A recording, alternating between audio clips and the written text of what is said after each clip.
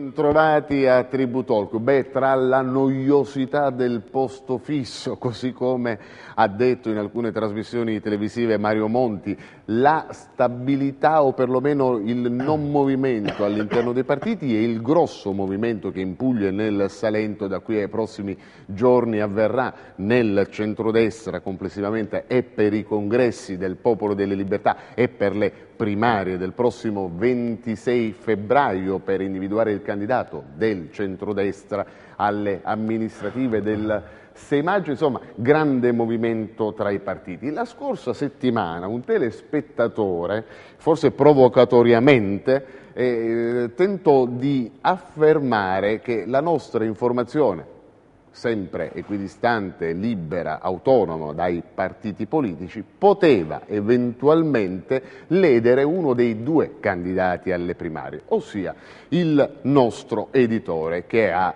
deciso di scendere in campo, insomma entrare nell'agone politico e mia risposta fu a quel telespettatore, bene, nessuno intende far ciò, assolutamente, non sarebbe una par condicio, sarebbe una par condicio all'inverso da parte nostra, però eh, comunico attraverso la telecamera al Presidente Paolo Pagliaro, in quanto candidato alle primarie del centrodestra, che deve come dire, virgoletto, subire il trattamento di tutti i politici, ossia avere forza e coraggio di venire a Tribute Talk e rispondere a voi telespettatori. Devo dire che questa che sembrava a me una provocazione invece è stata sposata e oggi è con noi Paolo Pagliaro, sposata con entusiasmo perché insomma... Ah, no, buongiorno, no? finalmente mi sono meritata la possibilità di, eh.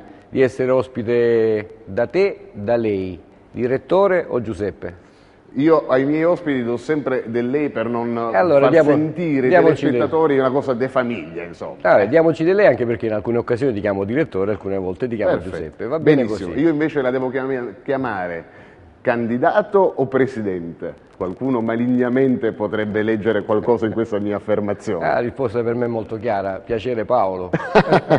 Senta, a, a proposito 0832 24 42 37 per le eh, telefonate. Eh, mi dicono che ci sono già alcuni telespettatori in attesa, ma come sempre faccio a Tributolco qualche battuta me la riservo inizialmente per poi dare lo spazio da casa. Si sente un uomo coerente? Beh, io della coerenza ho fatto la mia mm. ragione di vita, eh, la parola d'onore, i valori assoluti, la lealtà l'affidabilità, per cui assolutamente sì. Mm. E, echeggia da quando lei ha deciso di, dire, di sfidare il sindaco uscente per le primarie del 26 che un anno e mezzo circa fa ha affermato mai sarò candidato in politica, la nostra idea è l'idea della Regione Salento. Allora, perché ha cambiato idea, in quanto ora è un candidato e sarà protagonista delle amministrative del 6 maggio, ora candidato alle primarie, e se per questa scelta politica deve mettere da parte la Regione Salento per opportunità politiche. Assolutamente nessuna mm. voglia di mettere da parte la battaglia principale della mia iniziativa politica è e sempre sarà la stella polare del mio agire l'idea di costituire la Regione Salento, perché cre credo che sia la battaglia mm. eh, delle battaglie, la madre di tutte le battaglie per questo territorio. Rimarrà la nostra stella polare e la nostra iniziativa che oggi ci porta a partecipare alle competizioni elettorali nasce da questa esigenza, di portare all'interno dell'istituzione mm. quest'idea perché siamo convinti che questa è un'idea vincente, utile, senza nessuna controindicazione e siamo oltretutto convinti del fatto che la Regione Salento prima o poi si riuscirà a realizzare. Ma perché è stato così categorico? Mai, mai sarò candidato un anno eh. e mezzo fa e poi ora è di fatto il candidato alle primarie? Perché sono fatto così, sono eh. sincero, cioè allora non ci pensavo minimamente. Intanto parliamo di un anno e mezzo fa.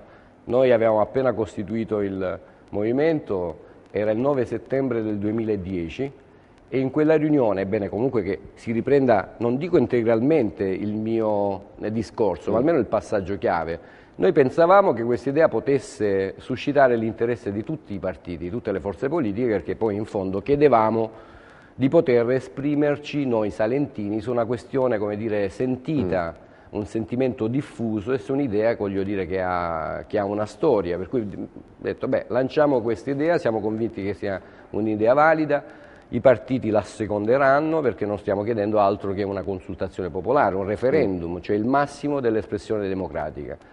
Iniziamo a ricevere attacchi di tutti i tipi da parte di tutti i partiti e ci sembrò quasi... In una se... seconda fase però, perché in una prima fase c'era un, no, un po' di attesa da parte dei, dei partiti. No, no, vero, no, no, no, noi subimmo Sembra immediatamente sì. degli attacchi dei mm. due esponenti principali come mm. dire, del, della politica pugliese. Vendola ci bollò subito come secessionisti, come se questa fosse un'idea anacronistica, leghista mm. e Fitto disse che era un'idea che non aveva nessun senso, è come andare in autostrada eh, in senso inverso in una giornata di esodo. Per cioè, cui... Bene o male hanno detto eh, Pagliaro come Bossi. Sì, anche questa è un'altra sciocchezza, si è detto di tutto di più. Mm. Eh, sicuramente in quel, quel, momento percepimmo che i partiti ci vedevano come un'invasione di campo. Il nostro movimento che nasce dalla società civile, nessuno aveva ha avuto esperienze dirette in politica, nacque in una torrida giornata di agosto, il 5 agosto del 2010, questo nostro movimento a Brindisi, presso il notaio Braccio e iniziamo subito, immediatamente, a chiedere alle amministrazioni comunali di deliberare a favore di un referendum consultivo. Ci accorgemmo dell'ostilità da parte dei partiti e io cercai, lanciai un messaggio per rassicurare i partiti che non avevamo nessuna voglia di essere degli invasori nel loro campo, ma volevamo solo e esclusivamente far partecipare la gente eh, al referendum. a un referendum. Se come dire, non fossi stato in buona fede, sicuramente non mi sarei mai sognato di dire una cosa se avessi mm. avuto un altro fine. No? Ero sincero e non avevo nessuna voglia di candidarmi un bel niente. Mm. Poi sono successe tante cose in questo mm. anno e mezzo, la nostra azione politica è cresciuta eh, giorno dopo giorno, il movimento si è radicato in tutto il territorio della regione Salento, intesa come le province Lecce, Brindisi e Taranto. Ci sono state una serie di assemblee partecipate dove all'unanimità e democraticamente i nostri militanti hanno deciso che dovevamo continuare questa battaglia dopo la bocciatura della Corte di Cassazione e si è andati avanti, il nostro progetto si è consolidato, si è costruito su una serie di valori straordinari, mm. è diventato anche un riferimento nazionale con un, un progetto che sta riscuotendo attenzione, che è quello dell'Italia, delle 30 regioni, con l'abolizione delle province, l'avevamo detto noi, mm. e di tutti gli enti inutili, l'avevamo detto noi. Della si necessità... fermi un attimo, perché poi Vendola subito scartato, sia il centro-sinistra allargato, a sinistra ecologia e libertà, e invece poi si opta per una scelta delle primarie in un'aggregazione più ampia del centrodestra, Siamo... per cui Fitto sì. Siamo arrivati subito mm. all'attualità.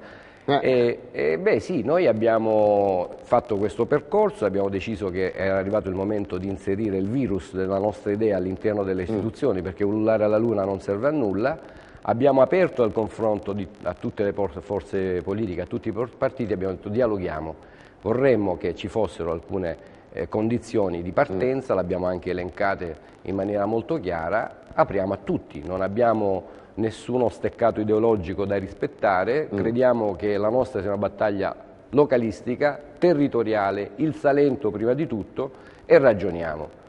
Il, ehm, il, la sinistra, il centrosinistra non ci ha concesso di discutere sulle nostre istanze o comunque dei nostri progetti, non soltanto per l'intero Salento, ma in particolar modo per i comuni dove mm. si andrà al voto, in questo caso Lecce città, ha chiuso dire, le porte in maniera eh, decisa alla società civile, il terzo polo invece ha dialogato con noi a lungo e abbiamo trovato una serie di eh, di momenti di convergenza, il PDL umilmente, e ci tengo a sottolinearlo, eh, perché il PDL parliamo comunque del partito di maggioranza relativa eh, nel nostro paese, in particolar modo a Lecce città. Almeno fino alle scorse elezioni. Beh, quello è il dato certo. al quale dobbiamo fare riferimento.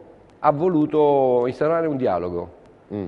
senza pregiudizi, senza chiusure, e devo dire che si è parlato di politica, a me ha fatto molto piacere perché io sin dall'inizio ho detto più che parlare delle cose, di come fare a vincere le elezioni, perché capisco, ho imparato a capire che la strategia, il tatticismo è importante, vorremmo parlare di cose concrete e abbiamo mm. iniziato ad elencare le nostre questioni rilevanti, centrali per poter andare in mm. alleanza. Mm. Abbiamo trovato punti di contatto, di dialogo, ci sono alcune cose che ci avvicinano moltissimo, ci sono alcune cose che ci allontanano, ma ci hanno concesso il dialogo. Dopodiché abbiamo relazionato in assemblea sull'andamento delle interlocuzioni e l'assemblea all'unanimità e democraticamente ha deciso andiamo in coalizione del centrodestra, sfidiamo il sindaco Perrone alle primarie. Eccoci qui. Quindi qualora dovesse andare tutto bene, il primo obiettivo, il primo appuntamento è il referendum che non sarebbe ostacolato, almeno la scelta del Consiglio Comunale non sarebbe ostacolato dal PDL.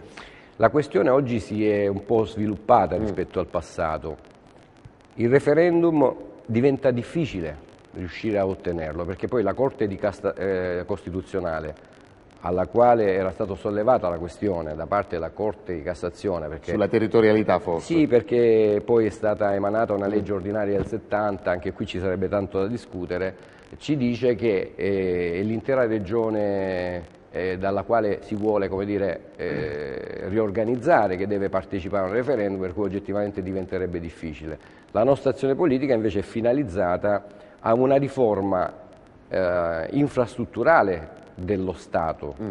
30 regioni, sì, zero province. Eh, per cui l'azione si sviluppa in termini più politici e devo dire sta ottenendo una grande attenzione L'ex ministro Pagliarini ha sposato questa iniziativa mm. e vuole diffond diffonderla in tutta Italia, ma non solo, devo dire, anche nei ragionamenti col terzo polo, anche nei ragionamenti con il PDL, quest'idea dell'Italia e le 30 regioni, per cui di una riforma dell'architettura istituzionale del nostro Paese, che oggi più che mai diventa attuale dopo l'abolizione delle province, è un'idea che sta circolando, perché se vogliamo arrivare ad avere un federalismo funzionale bisogna riorganizzare mm. e riequilibrare le regioni in tutta Italia. Aveva iniziato anche Berlusconi negli ultimi mesi del suo governo la ripresa, l'idea delle province di una possibile abolizione di gran parte di queste, anche se dal 92 ad oggi ben 15 il potere politico complessivamente ne ha istituite nel nostro paese, chiusura netta invece da una parte del centro-sinistra, la, la, la, parte insomma, più forte. Abbiamo due telefonate, Beh, non è proprio così, direttore mi consenta, diceva Pre non, non, usi troppo come dire, la dialettica berlusconiana che già dicono il Berlusconi del Salento. Ah, questo è un altro mio eh. problema, io con Berlusconi tirata, non ho niente a che vedere, eh. proprio niente, non peraltro, non mi tingo i mm. capelli, non uso i tacchi, ma al di là di questa battuta eh, non è così, perché poi tutti i partiti si dicono favorevoli all'abolizione delle province, tutti prima o poi hanno presentato disegni di legge, raccolte mm. firme ed altro, poi quando si tratta dire, di mollare le poltrone, lì diventa un po' un problema, ecco perché io confido molto nel governo tecnico, nel governo mm. Monti, per mettere finalmente un po' di ordine in questo sistema che non funziona. Mm. Ci sono troppi sprechi, troppi baracconi, enti inutili, è necessario lo snellimento dei costi mm. e per farlo bisogna partire principalmente dal sistema del regionalismo e se avremo tempo mm. posso anche dirle perché. Sentiamo le prime due telefonate, pronto?